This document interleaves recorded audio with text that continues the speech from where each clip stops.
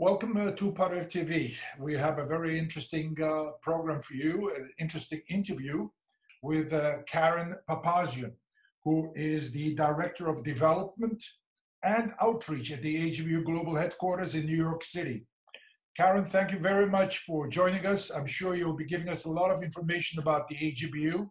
As you very well know, you have spearheaded funding for AGBU Central Board projects as the scholarship programs, children's centers in Armenia, Fund for Artsakh, Lebanon, Syria. You've also developed partnerships for various initiatives and supported AGBU chapters throughout the world. You really have a very unique position and you are very well connected with all these activities at the AGBU worldwide. Karen, I know and you know that AGBU is a global organization and the largest Armenian nonprofit organization in the world. You have described AGBU as the unwavering champion of the Armenian people that has remained rooted in our homeland and has carried out its mission of civic engagement through volunteers. My first question can you elaborate what I've said and give us an example of the work of the AGBU? And I thank you very much once again. Definitely. Thank you so much, Vartan, for having me on today. I know these are such interesting times, and I'm so happy to see the pandemic hasn't slowed you down. Uh, and, and as you'll find out, hasn't slowed us down at AGBU. Um, volunteers are truly the backbone of everything we do at AGBU. Since 1906, we've been touching every corner of the globe and, and making impact in all spheres in society but really we couldn't have done it without volunteers. Um, from our central board members as volunteers to our chapter chairs to our committees. Um, volunteers have really uh, orchestrated a lot, uh, whether it's helping us expand programs. Uh, for example, our summer internship program, which is now called the Global Leadership Program, went from one city to five cities thanks to volunteers or AGBU Hye Geen, uh, which was our, which are our uh, pregnant women centers in Armenia, was hmm. started mm. by a volunteer. Even our AGBU Young Professionals Network, started by a group of volunteers. Um, so we know how instrumental the role of volunteers and that um, powerful network. Mm. And AGBU has been successful over the last 114 years, but even more so today because of the power of that um, network and being able to harness the fact that they reach every corner, whether it's Brazil or Yerevan or New York or Montreal, and, and help and as they help us deliver our mission and help us um, uh, bring impactful programming, we are able to, to touch really uh, more and more lives you know, you speak about every corner of the globe. You mentioned it 10 times, and AGBU has these presence in every, almost every country in the world, of course, including Armenia. When you speak mm-hmm. about every corner of the world, people don't realize the smaller new communities that are mushrooming throughout Europe, throughout the world as a result of the exodus of Armenians from Armenia. What is the experience like to work with these? What are the needs of these communities?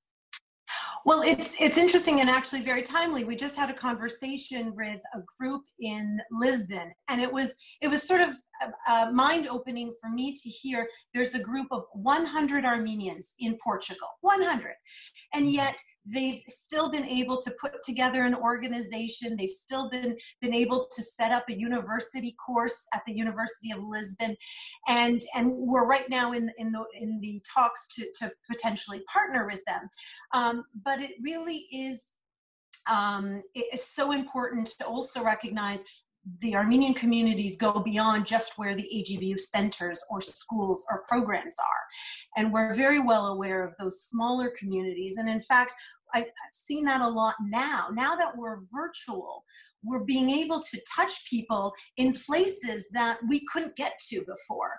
Um, so whether it's the hundred uh, Armenians in, in Portugal or the hundred in, um, in, in Norway, they're able to suddenly be a part of what we're doing. Now, while we're always trying to do that and actually our board members uh, uh, play an instrumental role in getting to all of those corners of the world, um, it really does sort of set a new path for us in terms of the importance of really connecting in those, in those various communities. You know, in the same line, you mentioned the central board members as volunteers, and they are volunteers, very mm-hmm. qualified people. And I think the leadership is a very, very important uh, aspect of the AGBU.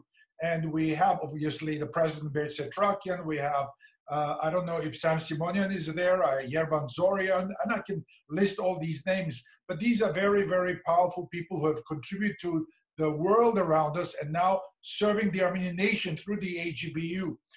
You know, whenever we speak of Tumo Center, it's Sina, it's uh, Simonian. We speak about virtual college, it's Dr. Yervant Zorian. So we have so much happening within the AGBU. Over the 114 years, uh, Karen, maybe you can help me here AGBU has been giving and giving and giving and leading the community uh, with the orphans, with the earthquake, with every single aspect of Armenian life.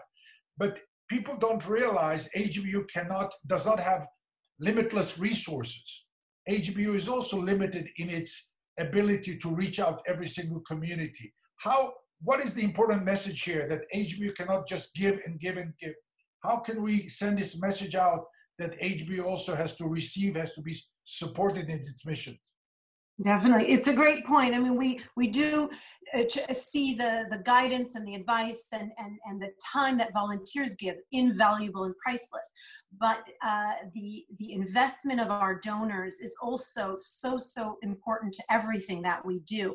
While we're fortunate that we are a hundred uh, 14 years uh, and and have a have a substantial endowment as the needs of our community changes as more armenians are leaving armenia and the diasporan needs are different or as uh, um, we find the needs in, in armenia and artsakh changing we have to constantly evolve our programs, expand our programs, and that takes money, whether it's operations or whether it's to be able to respond quickly to that need.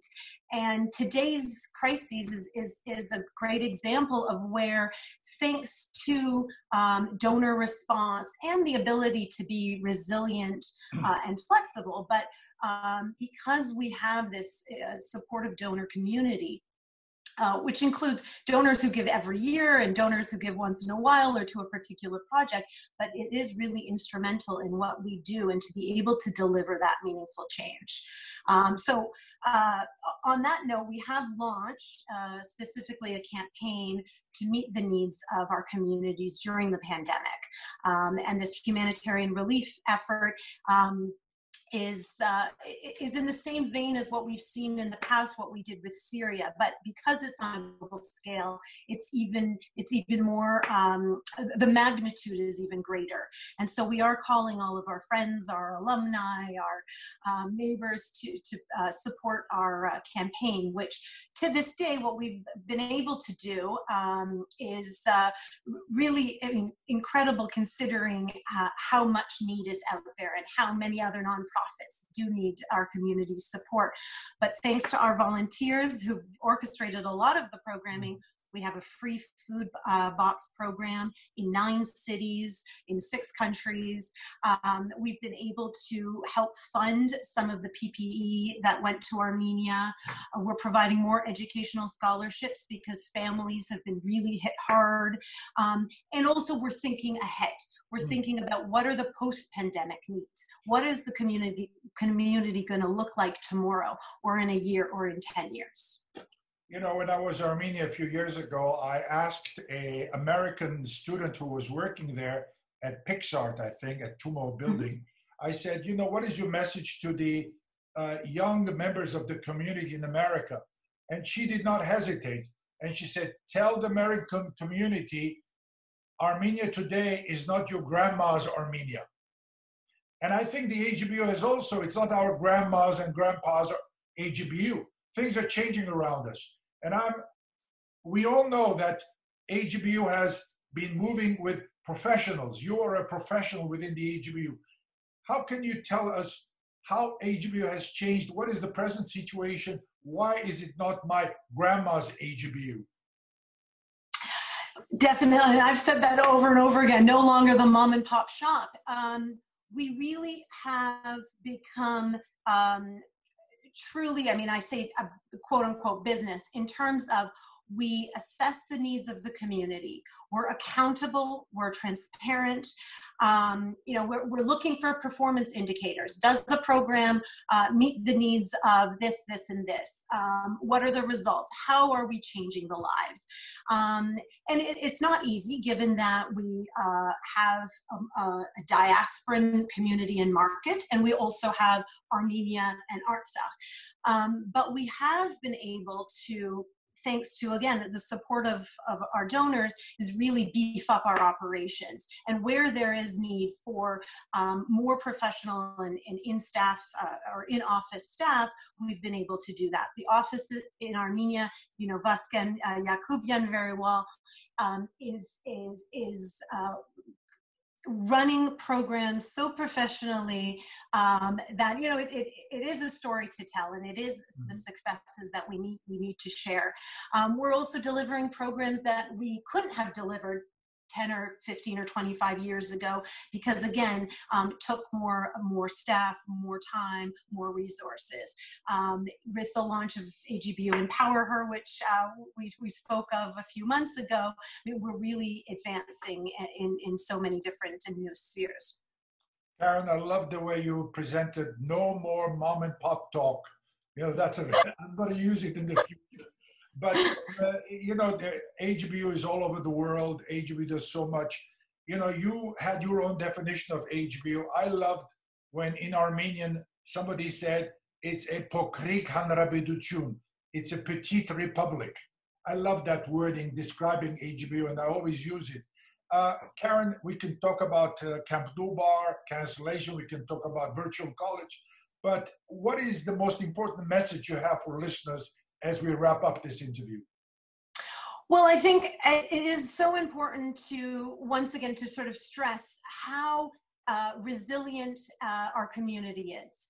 And, and, and the only reason really AGBU has been so, uh, let's say, successful or um, resilient during this current crisis is because of the support our community um, that our staff innovative and creative. We've launched new programs when you say new or our summer internship program is canceled, we've been quick to come up with uh, adaptations or replacement kind of programs, uh, realizing that we can't just sit back.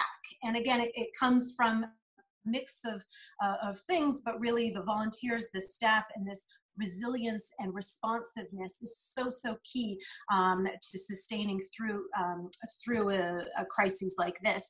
And I think. Um, Mr. Setrakian, our president, actually said it best, and if I may read a quote, um, he had issued a statement um, uh, during the beginning of the pandemic, and he said, "Certainty, one thing is clear: immunity is strength." Face to face or at a distance, we are committed to serving our global community from in the belief that we will recover and rebound together. And we really do um, sit with this message and everything that we are introducing or continuing during these, this crisis really uh, stands on, on that quote and that sentiment. We will recover, Karen, with the energy of the younger generation. I consider to be on the younger side. Uh, we are in good hands, Karen. I really appreciate your time and your comments, very crystal clear, and your message. We will recover and will greet better days ahead. Thank you very much, Karen. Thank you very much, Vartan. We really appreciate your ongoing support of AGBU. You're a great ambassador of all that we do, and uh, we're grateful for that.